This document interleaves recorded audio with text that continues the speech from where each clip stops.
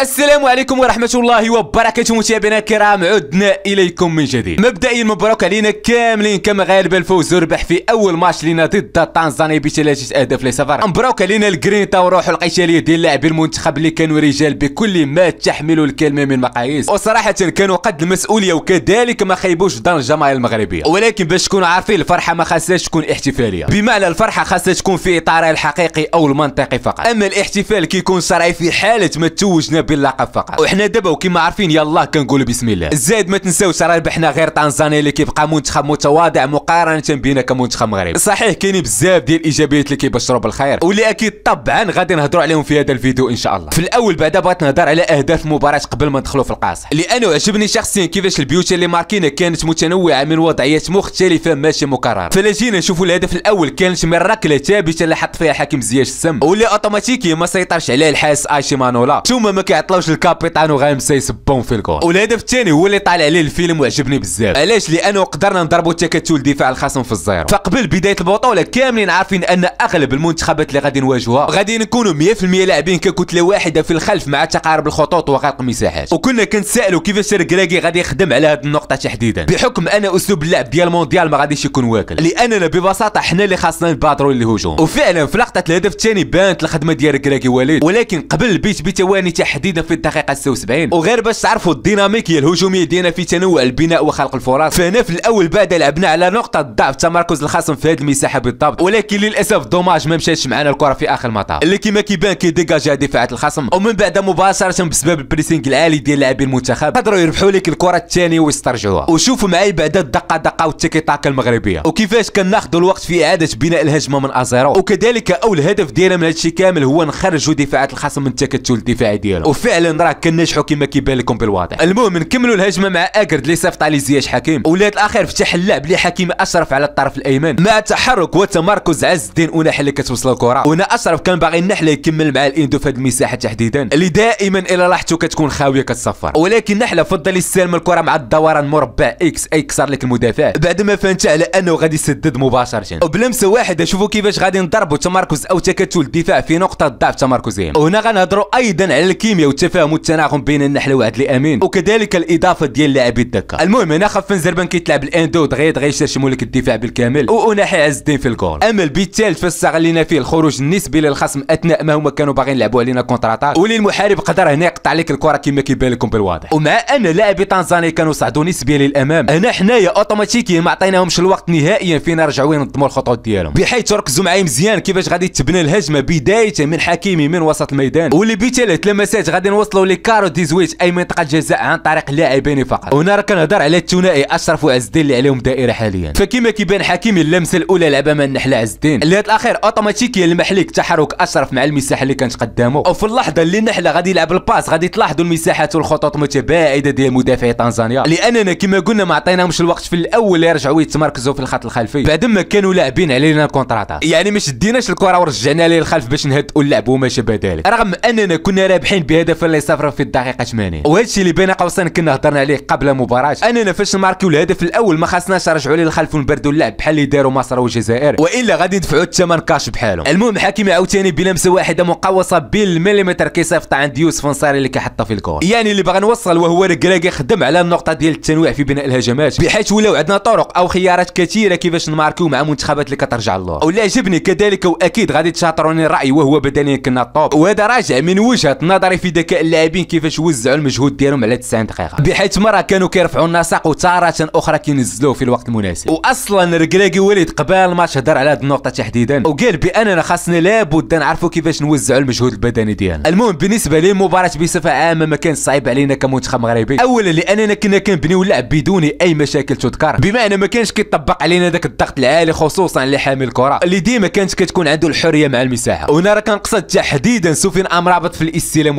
والتسليم أي فاش كيتوصل بالكرة من قلبي الدفاع كيخرج بها بسهولة كبيرة جدا. لعند اوناحي أو أملاح أو whatever بدون اي ضغط الزائد اللي سهل علينا الماتش أكثر وهو طرد اللاعب محمد الحسيني في الدقيقة 70 وهنا فين زاد تلفون وامر ديال المدرب عادل عمروش كثار ما هما تالفين ليه. المهم اللي باغي نوصل هو ما خاش يخدعنا هذا الماتش. لأننا في الأول والأخير لعبنا ضد منتخب كما قلنا متواضع. وراه ال level غادي وكيطلع وكيطلع وكيطلع. بداية من الماتش اللي جاي ضد الكونغو الديمقراطية. اولا هذا المنتخب قوي جدا من تنزانيا. ثانيا غادي يلعبوا مع ثلاثة اللي اللي هي جوج ديال كوت ديفوار. وهذا طبعا هو التحدي الصعب والحقيقي. لذلك calma calma ما خصناش نتغروا نعم من حقنا نفرحوا ولكن ماشي لدرجة الاحتفال. لأنه لو بقينا كنفخوا بزاف في المنتخب يقدر يرجع علينا بالسلب. ندوزو دابا لتقييم اللاعبين بداية من ياسين بونو اللي خدا 7.8 ويقدر يبان لكم التقييم ديالو ناقص شوية ولكن كما عارفين راه 90 دقيقة كاملة كان مرتاح في الشبكة بدون اختبار. نفس البلان تقريبا مع قلبي الدفاع نايف أكرد اللي خدا 7.2 وغانم سايس 7.7 وطبعا ما تختبروش دفاعيا البال أشرف حكيم كما كيبان خدا 7.6 اللي اللهم بارك كان حاضر هجوميا ولا يقدر يعطي assist الهدف الثالث محمد الشيبي 7.7 وللامانه دار اللي عليه وتقاتل. واخا ما كانش كيبان لنا بزاف في المساندة الهجومية. وهذا طبعا أكيد غادي يكون راجع لتعليمات المدرب وليد الركراكي وما نساوش طبعا راه لعب في مركز اللي ماشي المركز ديالو. ولكن عامة قدم ماتش محترم. المحارب امرابط مع المنتخب بلا ما نهضروا عليه. السكوت في الحرم الجمالي جمال التقييم ديالو هو 7.2 أما سليم املاح فللامانه ومن وجهة نظري الشخصية غير كيصعد للأمام أو العمق باش كيدير ديك الزياده العدديه في الهجوم. كيتلفى بكل ما تحمله الكلمة من معاني وبين قوسين هذا كيبقى رأيي الشخصي ولا ألزم به أحد. أما عز الدين اوناحي فراه ما شاء الله نحلة ورفريف مع المنتخب طيار اللهم بارك وزيد في ذلك. وهذا راجع لأن ركراكي كيعرف يوظفو عطيه الثقة والحرية. والسلام عليه صراحة غير بداك الاحتفال ديال البكية. message envoyé ناضي للبكايه والشكاية اللي كانوا دايرين عليه حملة مؤخرا.